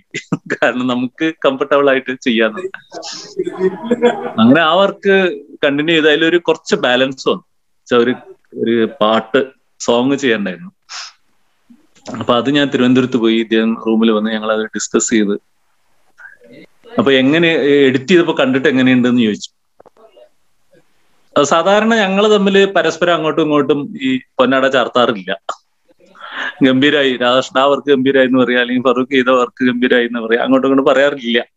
പക്ഷെ ഈ പ്രാവശ്യം എന്തുകൊണ്ടോ എന്നോട് ഇങ്ങനെ ചോദിച്ചപ്പോ ഞാൻ പറഞ്ഞു അതിൽ ഈ സുരഭി ലക്ഷ്മിയെ സ്നേഹത്തിന്റെ ആധിക്യം കൊണ്ടും എല്ലാം അങ്ങനെ ദേഷ്യവും ഇതെല്ലാം കൂടി വന്നിട്ട് ഈ ഇന്ദ്രൻസ് അടിക്കുന്ന ഒരു ഒരു രംഗുണ്ട് അതിങ്ങനെ ഹാൻഡിലാണ് ക്യാമറ. അപ്പൊ ഞാനത് ഞാൻ പറഞ്ഞത് രാധാകൃഷ്ണൻ എനിക്കത് നിങ്ങളോട് പറയാതിരിക്കാൻ പറ്റില്ല. എന്താ വെച്ചാൽ ഈ കാണിയുടെ ഹാർട്ട് ബീറ്റ് നിങ്ങളുടെ ക്യാമറയിലുണ്ട്. അതെനിക്ക് ഭയങ്കരമായിട്ട് ഫീൽ ചെയ്തൊരു സാധനമാണ്. അത് മാത്രം മതി നിങ്ങൾക്ക്. എപ്പിട്ട വേണമെങ്കിലും എടുത്ത് കാണിക്കാവുന്ന ഒരു ക്യാമറമാൻ എന്നുള്ള നിലയ്ക്ക് നിങ്ങൾക്ക് എടുത്ത് കാണിക്കാവുന്ന. അപ്പൊ രാധാകൃഷ്ണൻ ഇങ്ങനെ ഭയങ്കര എക്സ്പ്രസ് ചെയ്യൊന്നുമില്ല അത് ഇങ്ങനെ ഒരു താടിക്കുള്ളിലൂടെയും ഇതിന്റെ ഉള്ളിലൂടെയൊക്കെ വിരലിട്ട് ഇങ്ങനെ ഒന്ന് ചിരിച്ച് എനിക്കത് നമ്മുടെ ഈ ഷെഡ്യൂൾ തുടങ്ങുമ്പോൾ ഒന്ന് കാണണം. കാണിക്കാലോ എന്താ കുഴപ്പമൊന്നുമില്ല. എന്നുകൊണ്ട് ഞങ്ങൾ ആ സിനിമ തന്നെ സോങ്ങിനെ കുറിച്ചൊക്കെ ഡിസ്കഷൻ കഴിഞ്ഞ്. അപ്പൊ അദ്ദേഹത്തോട് പറഞ്ഞു ഞാൻ പൊയ്ക്കോളാം. റൂമിലേക്ക് അല്ല റെയിൽവേ സ്റ്റേഷനിലേക്ക് പൊയ്ക്കോളാം എന്ന് പറഞ്ഞു പല കുറച്ച് സമയമുണ്ട്. ഞാൻ റെയിൽവേ സ്റ്റേഷനിലേക്ക് ഞാനും വരാന്ന് പറഞ്ഞു. ഞങ്ങൾ നടന്ന് തിരുവനന്തപുരത്ത് ഓവർബ്രിഡ്ജിന്റെ ആ ഭാഗത്തായിരുന്നു. അവിടെ നടന്ന് സ്റ്റുഡിയോ അവിടെ എത്തി. അവിടെ തന്നെ ട്രെയിൻ കയറ്റി വിട്ട് അവിടെ നിന്ന് മൂപ്പര് കൈയൊക്കെ കാണിച്ച് അത് ഇന്നും എന്റെ ഒരു ഫ്രീസ് ആയ ഒരു ഫ്രെയിമാണ് എന്റെ മനസ്സിൽ. രാധാകൃഷ്ണനെ കുറിച്ച് ആലോചിക്കുമ്പോൾ ഈ കൈ കാണിച്ച് യാത്ര പറയുന്ന ഒരു ഒരു ഫ്രെയിമിലാണ് ഇപ്പോഴും രാധാകൃഷ്ണൻ നിൽക്കുന്നു പിന്നെ അടുത്ത വർക്ക് നമ്മൾ അത് കംപ്ലീറ്റ് ചെയ്തു. വേറെ പക്ഷെ ആ ഒരു സോങ് മാത്രമേ ഇദ്ദേഹം ബാലൻസ് വെച്ചു. അതാണ് രാധാകൃഷ്ണന്റെ ഒരു ബന്ധവും ഓർമ്മയും ഒക്കെ. ഞങ്ങൾ ഒന്നിച്ച് കിടന്ന് പായ വിരിച്ച് കിടന്നിട്ടുണ്ട് ഞങ്ങൾ. അസിസ്റ്റന്റ് ആയിട്ടൊക്കെ വർക്ക് ചെയ്യുമ്പോൾ അദ്ദേഹം വേറെ വർക്ക് ചെയ്യുമ്പോൾ ഒക്കെ അന്നൊന്നും ഈ ഇതിലൊന്നും വലിയ റൂം അങ്ങനെയുള്ള പ്രശ്നങ്ങളൊന്നും ഇല്ല അപ്പൊ ഞങ്ങൾ പായ വിരിച്ച് കിടക്കും. രാവിലെ ഞങ്ങൾ തന്നെ ഒന്ന് എണീറ്റ് പോയി ചായ കുടിക്കാൻ പോകും. ചായ വരുന്നതിന് മുമ്പ് ഞങ്ങൾ ചായ കുടിക്കാൻ പോകും. അങ്ങനെയൊക്കെ ആയിട്ട് ജീവിതം കുറേ ഒന്നിച്ചു കൊണ്ടുപോയ ആളുകളാ. അങ്ങനെയാണല്ലോ. ഇടയ്ക്ക് ചിലര് പിരിഞ്ഞു പോവും. വളരെ നിർമ്മമനായി സ്നേഹവും എന്നാൽ ക്യാമറ ഓൺ ചെയ്ത് കഴിഞ്ഞിട്ടുണ്ടെങ്കിൽ ടോട്ടലി ഡിഫറെന്റ് ആയിട്ട് ഐ മീൻ അതിലേക്ക് കോൺസെൻട്രേറ്റ് ചെയ്തുകൊണ്ട്. ഈ പറഞ്ഞ പോലെ ഐ എഫ് എഫ് കെക്ക് രണ്ടു മൂന്ന് പ്രാവശ്യം ഞാൻ അങ്ങനെ അധികം പോയിട്ടില്ല. പോകുമ്പോ ഒക്കെ കാണും. അപ്പൊ ഇങ്ങനെ തൊള്ളയിട്ട് സംസാരിക്കും. ആ ഒരു ഇത് ഇപ്പോഴും ഈ പറഞ്ഞ എന്നെ ഭയങ്കരമായിട്ട് ഈ കുഞ്ഞു കുട്ടികൾ ചിരിക്കണ പോലെ ചിരിക്കുക രാധാകൃഷ്ണൻ. കാലൊക്കെ ഉയർത്തി ഇങ്ങനെ ചാടി അവർത്തിയിട്ട് ഭയങ്കരമായിട്ട് ചിരിക്കും. ഒരു തമാശയൊക്കെ തന്നെ മുമ്പ് ഒരു പത്ത് പ്രാവശ്യം പറയുമ്പോഴും അതേ സെയിം എക്സ്പ്രഷനിലൊക്കെയാ പറയാ. അത് മൂപ്പര് ആ ഇതിൽ പഞ്ചവടി പാലത്തിലൊക്കെ അസിസ്റ്റന്റ് ആയിട്ട് വർക്ക് ചെയ്തിട്ടുണ്ട്. അപ്പൊ അതിൽ ഡയറക്ടറുടെ കുറെ കോമഡികളുണ്ട് അദ്ദേഹം പറഞ്ഞ വളരെ രസകരമായിട്ടുള്ള. ഇത് തന്നെ എത്രയോ പ്രാവശ്യം രാധാകൃഷ്ണൻ പറയും. രാധാകൃഷ്ണൻ ഇത് എത്രാമത്തെ പ്രാവശ്യം പറയണത്? അതെ ഞാൻ പറഞ്ഞിട്ടുണ്ടെന്നിരിക്കും അങ്ങനെ വീണ്ടും വീണ്ടും പറഞ്ഞുകൊണ്ടേയിരിക്കും. അങ്ങനെ ഒരു ക്യാരക്ടർ എനിക്ക് തോന്നുന്നു നാരായണേട്ടനോടെ ഫോൺ വരുന്നത് ഞാൻ എല്ലാം കേട്ട് ആസ്വദിക്കാണ്. ഒരു ഒരു പഞ്ചവടിപ്പാലം പോലെ ഒരു സബ്ജക്റ്റിന്റെ കാര്യം എപ്പോഴാ പറയണത്? അത് ആക്ച്വലി സ്ക്രിപ്റ്റ് എല്ലാം റെഡിയാക്കി വെച്ചതാ. അപ്പൊ അതിന്റെ പ്രൊഡ്യൂസർ പിന്നെ പുതിയ രാഷ്ട്രീയ സംവിധാനത്തിൽ അദ്ദേഹത്തിന് അത് ചെയ്യാനൊരു മടി. പഞ്ചവടി ബാലം പോലെ ഹാസ്യ അല്ല കുറച്ച് സീരിയസ് ആയിട്ടുള്ള ഒരു സാധനമാണ്. പക്ഷെ പൊളിറ്റിക്സ് ആണ് ഇന്ത്യൻ പൊളിറ്റിക്സ് ആണ് നമ്മൾ പറയാം. അതിൽ അങ്ങനത്തെ ഒരു സബ്ജക്റ്റ് ആയിരുന്നു. പക്ഷെ അതന്ന് പ്രൊഡ്യൂസറെല്ലാം റെഡി ആയിട്ട് നമ്മൾ എഴുത്തും കുത്തൊക്കെ ആയിട്ട് രണ്ട് വർഷം അതിന് കളഞ്ഞതാ. അതുകൊണ്ടാണ് കുറച്ചുകൂടി ഡിലേ ആയത്. അല്ലെങ്കിൽ നമ്മൾ ഉടനെ വേറൊരു സിനിമ ചെയ്യുമായിരുന്നു. അതും എപ്പോഴും ചെയ്യാവുന്ന ഒരു സാധനമാണ് അപ്പൊ അത് ചെയ്ത് ആര് ആരവിടെ ഭരിക്കുന്നു എന്നുള്ളതല്ല. ചെയ്യുകയാണെങ്കിൽ അത് ഭരിക്കുന്നവർക്കെതിരായിരിക്കും. അതായി പോകുന്നതാണ് സബ്ജക്റ്റ് അങ്ങനെ അതുകൊണ്ട് പലർക്കും അതിനുള്ളൊരു ധൈര്യമില്ലായ്മ ഉണ്ട് അങ്ങനെ കുറച്ച് ഒരു പിന്നെ ഒരു മ്യൂസിക് ബേസ്ഡ് ഒരെണ്ണം. പിന്നെ ഒരു തിലകൻ ചേട്ടന് വേണ്ടി എഴുതി വെച്ചൊരു സാധനം. തിലകൻ ചേട്ടന് വേണ്ടിയിട്ടല്ല എഴുതിയപ്പോ ആ ക്യാരക്ടർ ചെയ്യാൻ തിലകൻ ചേട്ടനാണ് യോഗ്യൻ എന്നുള്ളതാണ്. അങ്ങനെ കുറച്ച് സാധനം ഒരു നാലഞ്ചെണ്ണം ഉണ്ട്. സാധിച്ചാൽ ചെയ്യാവുന്നത് സമയം കാലം ഒക്കെ അനുവദിച്ചാൽ. പിന്നെ നാരായണന്റെ കട ഉണ്ടല്ലോ എന്നുള്ളതാണ് നമ്മുടെ ഒരു സമാധാനം. കുറെ കൂടി സിനിമയും നാടകമൊക്കെ ആയിട്ട് കുറെ കൂടി റിഫൈൻഡ് ആയി റിഫൈൻഡ് ആയി വരുന്നുണ്ട്. നാരായണനൊക്കെ ഇനി എന്താ പറയാ ഏണി വെച്ച് പിടിക്കേണ്ട അവസ്ഥയപ്പോ ആക്ച്വലി ഒരു ഫീമെയിൽ ഓറിയന്റഡ് സബ്ജക്ട് ഉണ്ട്. അപ്പൊ ഞങ്ങൾ ഞാനത് രണ്ടു വർഷം മുമ്പ് തന്നെ നാരായണേട്ടനോട് പറഞ്ഞു. അതിന് പ്രൊഡ്യൂസർ കിട്ടുകയാണെങ്കിൽ എനിക്ക് മോളെ അത് ക്യാരക്ടറൈസ് ചെയ്ത് ചെയ്യാം എന്നൊക്കെ ഉണ്ടായിരുന്നു. ഇപ്പോഴായിട്ടില്ല ആവും. അപ്പോഴേക്കും ഈ ആർട്ടിസ്റ്റിനെ കിട്ടുമെന്ന് അറിയില്ല അത് കുഴപ്പമില്ല. നമുക്ക് പിന്നെ ആർട്ടിസ്റ്റ് ഒരു പ്രശ്നം അല്ലാത്തതുകൊണ്ട്. നാരായട്ടാ നിങ്ങൾ ആളാവാൻ നിക്കണ്ടെന്ന് തന്നെയാ പറഞ്ഞു. അങ്ങനെ തന്നെയാ വേണ്ടത് അല്ല അങ്ങനെ ഒരു സബ്ജക്റ്റ് ഉണ്ട് എന്ന് പറയാം. ചെയ്യണം. അതെ അതെ. പക്ഷെ എന്റെ സബ്ജക്റ്റുകൾക്ക് എനിക്ക് തോന്നുന്നു കളിയച്ചൻ ഒഴിച്ച് ബാക്കിയൊന്നിനും ഒരു ലാംഗ്വേജ് ക്രൈറ്റീരിയ ഇല്ല. ഏത് ഏത് ലാംഗ്വേജിലും ഏത് മനുഷ്യർക്കിടയിലും പറയാവുന്ന സിനിമകളാണ് നമ്മളിൽ ഉള്ളത് എന്താണ് സമയമായോ? കളിയച്ചിന്റെയും കളിയച്ചിന്റെയും അടിസ്ഥാന കാര്യം അങ്ങനെ കൂടിയാണ് അല്ലേ? അതെ. ടീച്ചർക്ക് കളിയച്ചനെ കുറിച്ച് എന്തെങ്കിലും പറയാനുണ്ടാവും ടീച്ചർ നല്ലൊരു വ്യൂവറാ ആ, അത് അതൊരു നല്ല കാര്യം. ഞാൻ ഇങ്ങനെ ടീച്ചറെ എന്ന് പറയുമ്പോൾ ടീച്ചറെ ഒന്ന് പരിചയപ്പെടണമെന്നുണ്ടായിരുന്നു. അപ്പോ അത് നല്ലൊരു ഓപ്പർച്യൂണിറ്റിയാ ഹലോ ഹായ് ഹായ് ഇക്ക, ആ പറയൂ. നിങ്ങൾക്ക് കളിയച്ചനെ കുറിച്ച് ഒരു അഭിപ്രായം പറയാൻ കിട്ടുന്ന ഒരു സന്ദർഭമാണ്. ഇപ്പൊ എന്ത് വേണമെങ്കിലും പറയാം. ഒരുപാട് ഇഷ്ടമായി ഞാൻ ഇക്കാനോടെല്ലാം അതിന്റെ ഒരു റിവ്യൂ പോലെ തന്നെ പറഞ്ഞിട്ടുണ്ട്. കാരണം അതിന്റെ ഒന്നാമത് അതിന്റെ ഡയറക്ഷൻ എന്ന് പറഞ്ഞാൽ അസാധ്യമായിട്ടൊരു ഡയറക്ഷനാണ്. ഒരു വല്ലാത്തൊരു നിർഭയത്വം എന്ന് പറഞ്ഞ സംഭവം അതിൽ കൃത്യമായിട്ട് സൂക്ഷിച്ചിട്ടുണ്ട്. ഒരു പി എ കവി ഒരു കവി എന്നുള്ള രീതിയിൽ നിന്നുള്ള ഉള്ളതിൽ നിന്ന് വളരെ വ്യത്യസ്തമായിട്ട് എങ്ങനെയാണ് ഒരു സർഗാത്മകത ഉള്ളിൽ സൂക്ഷിക്കുന്ന ഒരു മനുഷ്യൻ എന്നുള്ള കൃത്യമായ അടയാളപ്പെടുത്തലാണ് പിന്നെ കളിയച്ചൻ കൊണ്ടുവന്നത്. വെറും നമ്മളെ വാക്കുകളിൽ വരികളിലൂടെയുള്ള കവി എന്നുള്ള രീതിയിൽ നിന്ന് മാറിയിട്ട് സർഗാത്മകത അതൊന്നും അല്ല നമുക്കറിയാം അത്.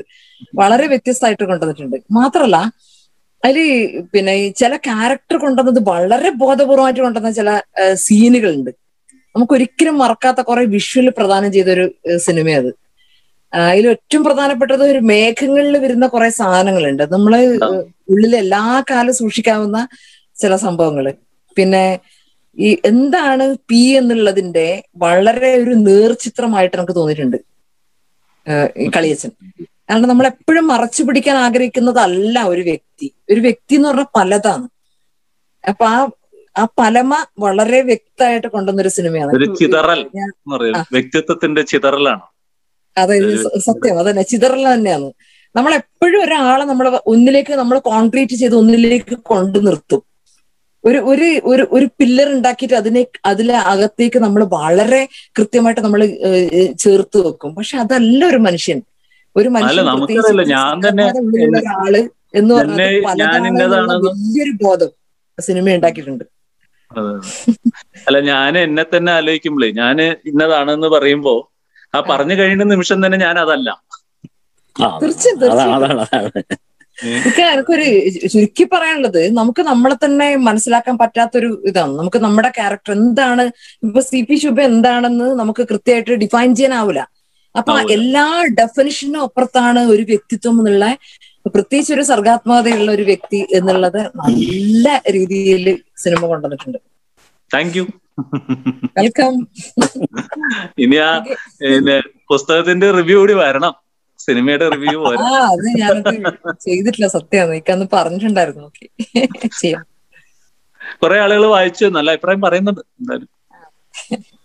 മോശമല്ല എഴുതാം എന്ന് തോന്നിപ്പിക്കുന്ന വിധത്തിലുള്ള അഭിപ്രായങ്ങൾ പറയുന്നുണ്ട്.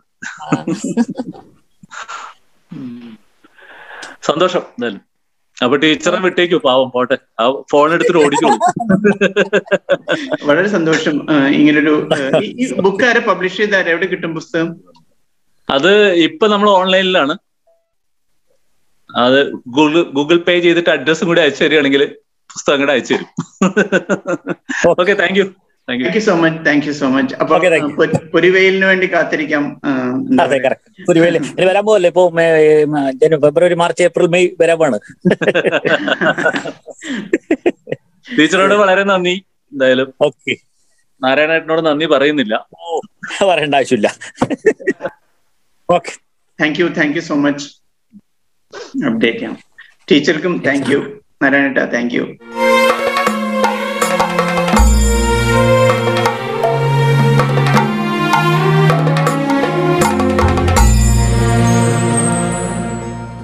പുതിയ സംവാദങ്ങളുമായി വീണ്ടും വരാം. മീഡിയ മാതങ്കി സബ്സ്ക്രൈബ് ചെയ്യൂ. നിങ്ങളുടെ അഭിപ്രായങ്ങൾ കമന്റും ചെയ്യൂ. Thank you